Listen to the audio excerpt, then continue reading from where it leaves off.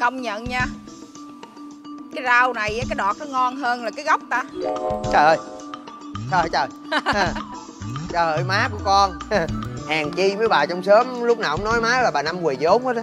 Nè ông tin ra con coi đi nè thấy không? Cái đọt này lúc nào cũng non hơn cái gốc hết á mà nó ngon dễ sợ. Thì đó điều đương nhiên rồi. Mà ngộ nha cái rau nãy má mua ở ngoài chợ nó tươi sao giờ nó héo không hiểu luôn trời ơi má quỳ vốn nữa má hèn chi với bà trong xóm nói với bà năm quỳ vốn mà phải rồi. Ủa kệ nó. Tôi nói quề vốn vậy còn hơn tôi nhiều chuyện. Tôi nói qua nói lại bị thiên hạ chửi còn còn còn nhục hơn nữa đúng không? Trời ơi mắc mớ ở đâu nhục. Con nói giỡn vậy thôi đó. Ủa mà bữa nay má định nấu con ăn món gì vậy? Một món rất là ngon. Bảo đảm không ngon không lấy tiền. Rồi vậy biết chắc không ngon rồi đó. Ừ. làm sao? Thì tại má nấu cho con ăn có bao giờ má lấy tiền đâu. Thì không lấy tiền rồi suy gan nó là không ngon. Cha mày nói giỡn thôi. Xạo xạo hà? Dạo này miệng mồm lanh thấy ớn hà. Dạ. Ủa mà đi đâu bận đồ đẹp vậy ta? Ừ định ra xin má cho con đi sinh nhật chút xíu. Má nhớ bữa nay là có buổi học của con mà. Dạ thì à, ừ, thì à, thiệt sự là có học á nhưng mà cái môn không quan trọng. Sinh nhật bạn năm mới có một lần còn học mình học cả năm lận cho nên nghỉ bữa không sao đâu. Mà môn nào quan trọng môn nào không quan trọng? Thì à, do mình thôi cái môn nào mình thấy nó quan trọng thì nó quan trọng còn cái nào mình thấy nó không quan trọng thì nó không quan trọng.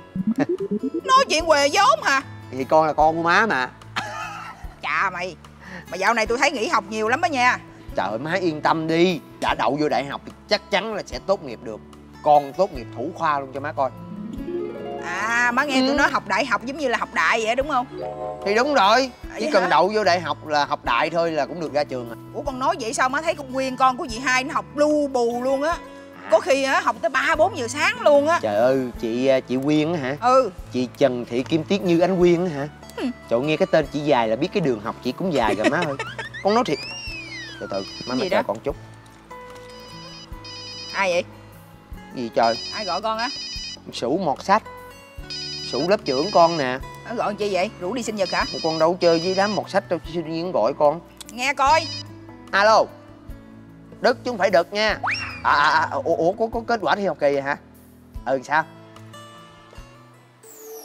Sao con sao con? Hả? Có lộn không vậy? Đức hay đực? Đức phải không? Xác nhận lại lần nữa coi. Đức hả mình cảm ơn bạn nha. Gì vậy? Dạ. mày tên đức mà đâu phải tên đực đâu tự nhiên thấy mặt mày đực ra vậy? Không phải tại nó vì gọi nó nói cái gì? con hả kết quả học kỳ là sao? Thì nó ờ, có ờ, kết quả rồi. Nó làm sao? Ờ, rớt năm môn. Cái gì? Dạ. Không không có má, má, má bình tĩnh má bình tĩnh. Cái cái cái cái chuyện này không không có quan trọng. Mình mình rớt năm môn nhưng mà ở đại học dễ lắm mình đậu vô rồi là học dễ lắm. Thí dụ năm môn này mai mốt mình thi trả nợ môn mình thi lại là Đến đây! Thi lại cái gì? Dạ.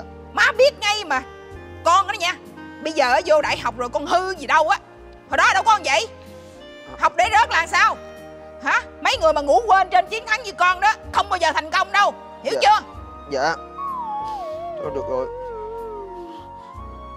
Gọi cái gì nữa? Đi Dạ. sinh nhật hả? Dạ không có. Con con gọi ừ, ừ, ờ hương hả chúc bạn sinh nhật vui vẻ.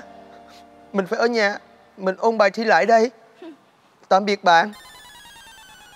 Con con con à, không đi sinh nhật nữa. Con con con chuẩn bị đi học.